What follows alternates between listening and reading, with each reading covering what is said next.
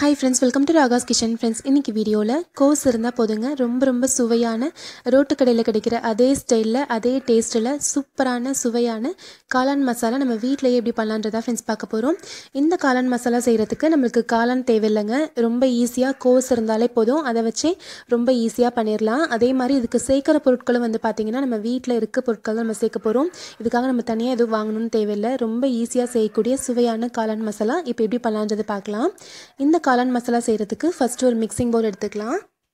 இதில் ஒரு கால் கிலோ அளவுக்கு முட்டைக்கோஸை நல்லா பொடியாக நறுக்கி போட்டுக்கலாங்க. நறுக்கி வச்சுருக்கிறது வந்து பார்த்திங்கன்னா நல்லா பொடியாக இருக்கணும். அப்போ தான் நல்லா டேஸ்ட்டாக இருக்கும். பாருங்கள் இந்த அளவுக்கு நல்லா பொடியாக கட் பண்ணி வச்சுக்கோங்க. இப்போ இந்த முட்டைக்கோஸ் கூட ஒரு கப் அளவுக்கு மைதா மாவு சேர்த்துக்கலாம். இது கூடவே ஒரு அரை கப் அளவுக்கு கார்ன்ஃப்ளவர் மாவு சேர்த்துக்கலாங்க. நான் இன்றைக்கி வந்துட்டு இந்த மைதா மாவு கூட கார்ன்ஃப்ளவர் மாவு சேர்க்குறேன். நீங்கள் வந்து கார்ன்ஃப்ளவர் மாவு இல்லை அப்படின்னா நீங்கள் அதுக்கு பதிலாக அரிசி மாவு கூட பயன்படுத்தலாம். கூடவே ஒரு டேபிள் ஸ்பூன் அளவுக்கு இஞ்சி பூண்டு திருவலோ அல்லது இஞ்சி பூண்டு பேஸ்ட்டோ சேர்த்துக்கோங்க. இது கூட தேவையான அளவுக்கு உப்பு போட்டுக்கலாம். நான் ஒரு ஒன்றரை டீஸ்பூன் அளவுக்கு உப்பு சேர்த்துக்கிறேன். இப்போ காரத்துக்கு தகுந்த மாதிரி மிளகாய்த்தூள் சேர்த்துக்கலாம். கூடவே ஒரு டீஸ்பூன் அளவுக்கு கரம் மசாலா தூள்.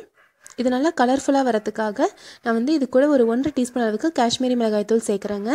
நீங்கள் வந்து விருப்பப்பட்டு அதை சேர்த்துக்கலாம். இல்லை அப்படின்னா இதை வந்துட்டு ஸ்கிப் பண்ணிடலாம் நான் ஒரு ஒன்றரை டீஸ்பூன் காஷ்மீரி மிளகாய் தூள் சேர்த்துக்கிறேன் இப்போது சேர்த்துட்டு இப்போ இது எல்லாத்தையும் நல்லா வந்து கலந்து விட்டுறலாம் ஒரு தடவை எல்லாத்தையும் நல்லா வந்து கலந்து விட்டுட்டு அதுக்கப்புறமா கொஞ்சம் கொஞ்சமாக தண்ணி சேர்த்து நம்ம வந்துட்டு இதை பிசைஞ்சு வச்சுக்கலாம். தண்ணி எதுவும் இப்போ சேர்க்காம ஃபஸ்ட்டு நல்லா மிக்ஸ் பண்ணி விட்டுருங்க. நல்லா மிக்ஸ் பண்ணிவிட்டு இப்போ கொஞ்சம் கொஞ்சமாக தண்ணி தெளித்து நல்லா கெட்டியாக வந்து பிசைஞ்சு வச்சுக்கலாம். இதுக்கு வந்து நான் இன்றைக்கி மைதா மாவு சேர்த்துருக்கேங்க. மைதா மாவுக்கு பதிலாக கோதுமை மாவும் பயன்படுத்தலாம். ஆனால் டேஸ்ட் வந்து கொஞ்சம் மாறுபடும். நம்ம கடைகளில் கிடைக்கிறது வந்து மைதா மாவு சேர்த்து தான் செய்கிறோம்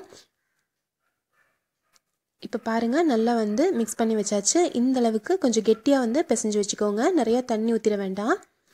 இந்த அளவுக்கு கெட்டியாக இருக்கும்போது நம்ம மாவுலேருந்து கொஞ்சம் கொஞ்சமாக இப்படி எடுத்து கிள்ளி கிள்ளி பக்கோடை மாதிரி நம்ம வந்து போட்டுக்கலாம். இந்த பதத்துக்கு மாவு வந்து இப்போ நம்ம பிசைஞ்சு வச்சாச்சு. இப்போ அதை பொரிக்கிறதுக்கு ஸ்டவ்வில் ஒரு வானலி வச்சு எண்ணெய் ஊற்றிக்கலாம் எண்ணெய் நல்லா சூடாகட்டும்.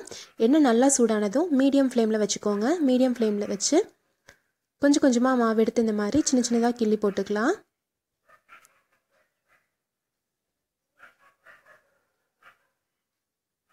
பாருங்கள் இந்த மாதிரி சின்ன சின்னதாக பக்கோடை மாதிரி நம்ம வந்து போட்டு எடுத்துக்கலாம். மீடியம் ஃப்ளேம்லேயே வச்சு இதை வந்து நம்ம நல்லா பொரிச்சு எடுத்துக்கலாம்.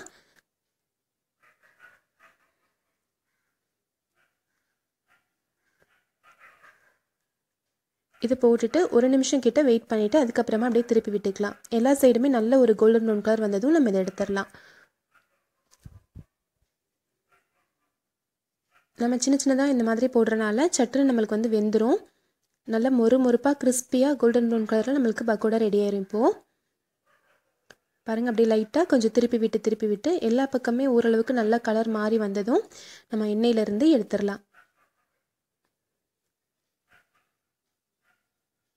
இப்போ பாருங்கள் எல்லா சைடுமே ஓரளவுக்கு கொஞ்சம் கலர் மாறி வந்துருச்சு.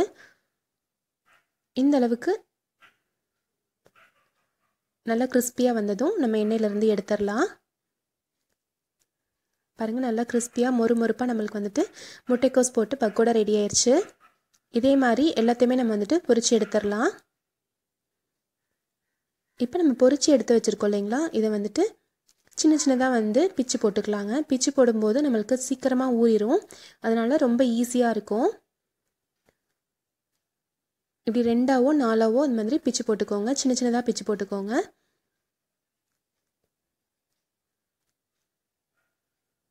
இப்போ நம்ம பொரிச்சு வச்ச எல்லாத்தையுமே வந்து இந்த மாதிரி சின்ன சின்னதாக வந்து பிச்சு போட்டாச்சு. இப்போ இதுக்கான மசாலா நம்ம ரெடி பண்ண போகிறோம் மசாலா ரெடி பண்ணுறது ரொம்ப ரொம்ப ஈஸி தாங்க. அதுவும் ரொம்ப ஈஸியான பொருட்களில் சட்டுன்னு செஞ்சிடலாம். ஸ்டவ்வில் ஒரு பேன் வச்சுக்கலாம்.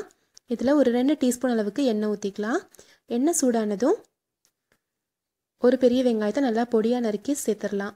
வெங்காயம் நல்லா வதங்கட்டும். நல்லா லைட் ப்ரௌன் கலரில் நல்லா வதங்கி வந்ததும் இப்போது இதில் ஒரு கால் கப் அளவுக்கு தக்காளி சாஸ் சேர்த்துக்கலாங்க. டொமேட்டோ கெச்சப் சேர்த்துக்கலாம். கூடவே ஒரு கால் கப் அளவுக்கு தண்ணி ஊற்றி இதை நல்லா கொதிக்க வச்சுக்கலாம். இந்த சாஸ் சேர்க்கும்போது அதோட சுவை வந்து சூப்பராக இருக்கும். அதுக்காக தான் நம்ம சேர்க்குறோம். சப்போஸ் நீங்கள் சாஸ் இல்லை சேர்க்க விரு விருப்பம் இல்லை அப்படின்னா நீங்கள் தக்காளி அரைச்சி கூட ஊற்றிக்கலாம் தக்காளி அரைச்சி ஊற்றி கூடவே கொஞ்சம் உப்பு சர்க்கரை சேர்த்துக்கோங்க. அப்போ கரெக்டாக இருக்கும். இப்போ இது கூட அரை டீஸ்பூன் உப்பு கால் டீஸ்பூன் மஞ்சள் தூள் காரத்துக்கு ஒரு கால் டீஸ்பூன் மிளகாய்த்தூள் ஒரு அரை டீஸ்பூன் கரம் மசாலா தூள். இது எல்லாமே இந்த மசாலாவுக்கு நம்ம இப்போ சேர்த்தாச்சு. சேர்த்து நல்லா வந்து கலந்து விட்டுக்கோங்க.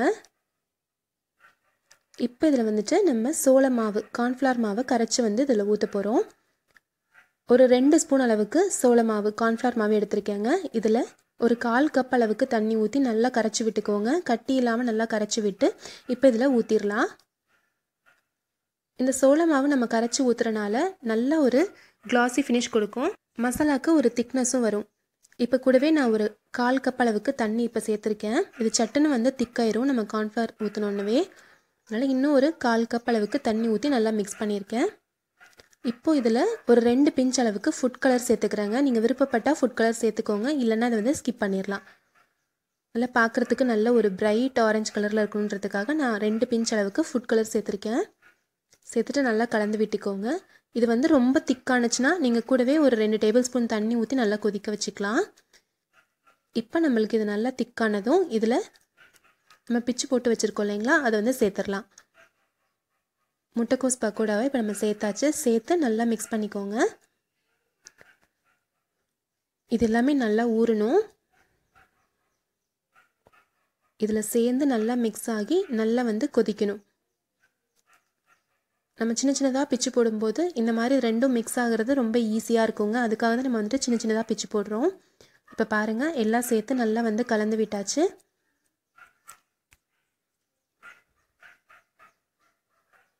உங்களுக்கு ரொம்ப திக்காக இருக்க மாதிரி இருக்குது அப்படின்னா நீங்கள் வந்துட்டு கொஞ்சமாக தண்ணி ஊற்றி நல்லா கொதிக்க வச்சுக்கலாம். இப்போ கரெக்டாயிரும் எல்லாம் சேர்ந்து நல்லா மிக்ஸ் ஆயிடுச்சு பாருங்கள் நம்மளுடைய காளான் மசாலா ரெடி ஆயிடுச்சு ரொம்ப சுலபமாக நம்ம வந்துட்டு காளான் மசாலா ரெடி பண்ணியாச்சு. ரொம்ப ரொம்ப சுவையாக இருக்குங்க. நம்ம ரோட்டு கடையில் கிடைக்கிற அதே சுவையில் அதே ஸ்டைலில் சூப்பராக இருக்கும். இப்போ நம்ம சர்வ் பண்ணிடலாம். சுட சுட சுவையான காளான் மசாலா ரெடி ஆயிடுச்சு நீங்கள் சர்வ் பண்ணும்போது இந்த மாதிரி ஒரு தட்டில் போட்டு இதுக்கு மேலே பொடியாக நறுக்கின வெங்காயமும் கொத்தமல்லியும் தூவி கொடுத்தீங்க அப்படின்னா ரொம்ப ரொம்ப டேஸ்டியாக சூப்பராக இருக்கும். எல்லாருமே ரொம்ப விரும்பி சாப்பிடுவாங்க.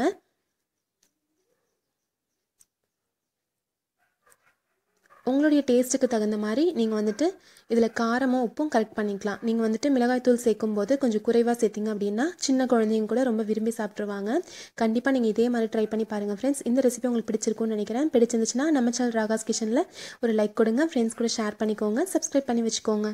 தேங்க்யூ